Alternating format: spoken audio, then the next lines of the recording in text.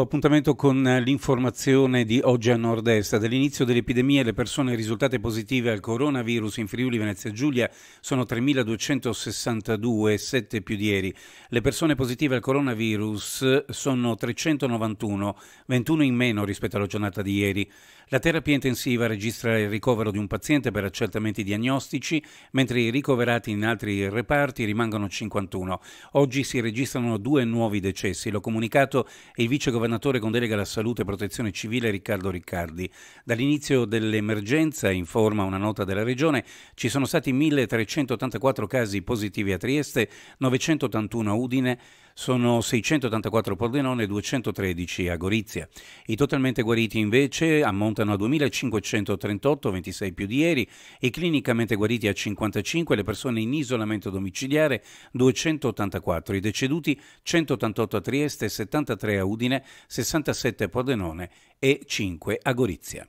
Sono otto i nuovi casi di positività al coronavirus registrati in Veneto per un dato totale di 19.125 soggetti dall'inizio dell'epidemia. Nessun decesso è avvenuto eh, ieri sera, il dato complessivo dei morti resta perciò fermo a 1.898, le persone positive 2.025, i negativizzati virologici 15.202, i pazienti in isolamento domiciliare 2.142, in terapia intensiva rimangono 34 malati, 426 ricoverati in area non eh, critica. Nel 2019 le operazioni totali effettuate dal Fondo di rotazione per le iniziative economiche FRIE sono state 64 per un importo deliberato pari a quasi 167 milioni.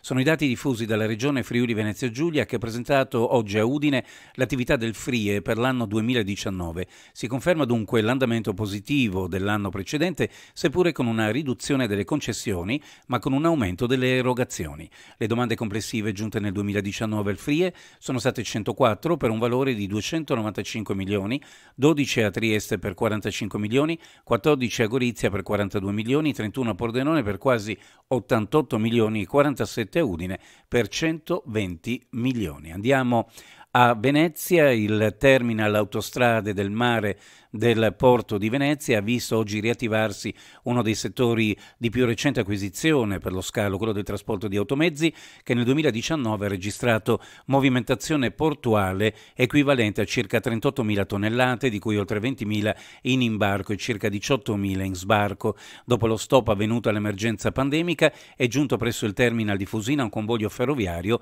carico di 240 automobili provenienti dalla Romania. I mezzi sono destinati al mercato interno e ai mercati vicini e concluderanno il loro tragitto via terra.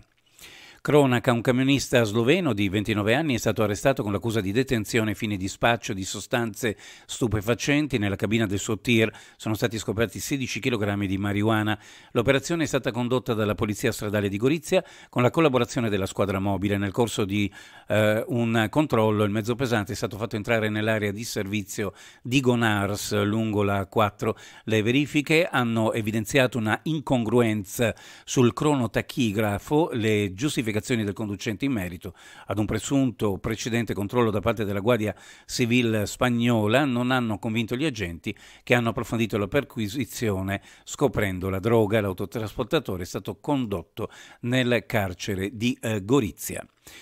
Eh, I vigili del fuoco sono intervenuti lungo la strada provinciale 246 nel tunnel che collega il comune di Cornedo a Cereda per uno scontro tra un'auto e un camion. Ferito un giovane, è accaduto eh, verso le 16 di oggi. I pompieri arrivati da Arzignano hanno messo in sicurezza i mezzi, lavorato con eh, cesoie e divaricatori martinetti idraulici per liberare il 26enne di Valdagno rimasto incastrato tra le lamiere della Renault. L'automobilista è stato stabilizzato dal personale del sanitario del Sume e trasferito in eh, ambulanze in ospedale. Illeso l'autista del camion. I carabinieri e la polizia locale hanno deviato il traffico ed eh, eseguito i rilievi del sinistro per ricostruire la dinamica del, del, dell'accaduto dell'incidente.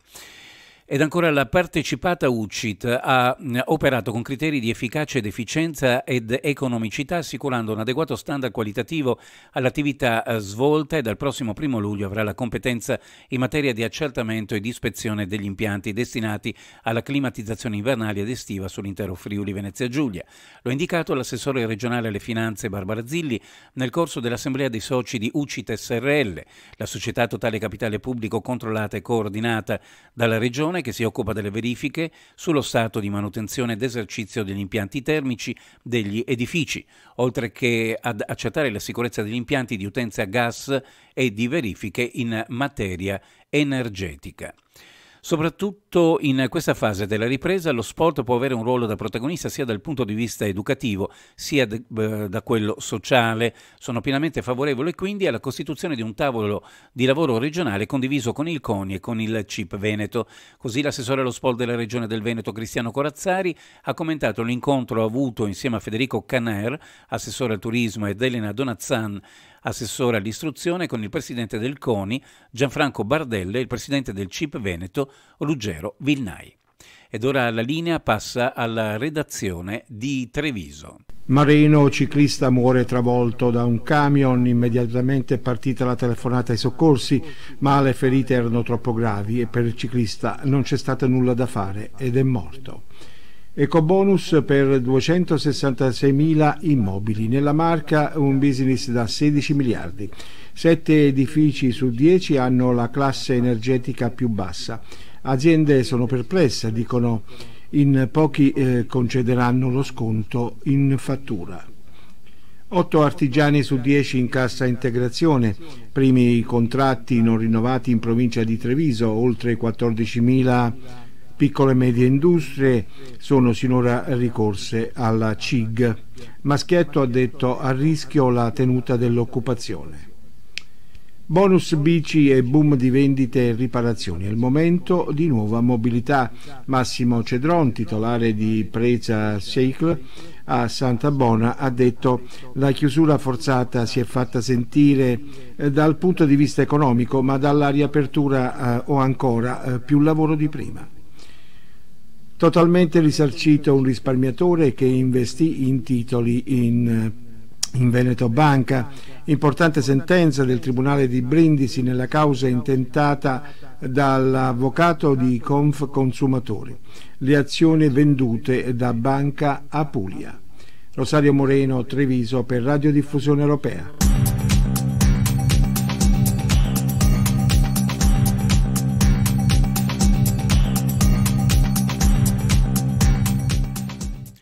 Domani sul Friuli Venezia Giulia di primo mattino, poco nuvoloso su tutte le zone, in giornata variabile sulla zona montana, con la possibilità di qualche pioggia sulle altre zone, cielo da poco nuvoloso a variabile con bassa probabilità di qualche locale rovescio. Sulla costa Bora moderata, nelle ore centrali potrebbero prevalere le brezze, specie ad ovest.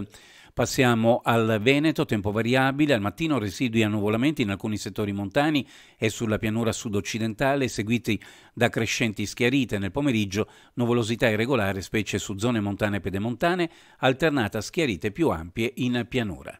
Previsioni a cura di ARPA FVG Meteo e di ARPAV, Agenzia regionale per la prevenzione e protezione ambientale del Veneto. Per il momento dal nord-est è tutto, eh, appuntamento alla prossima edizione.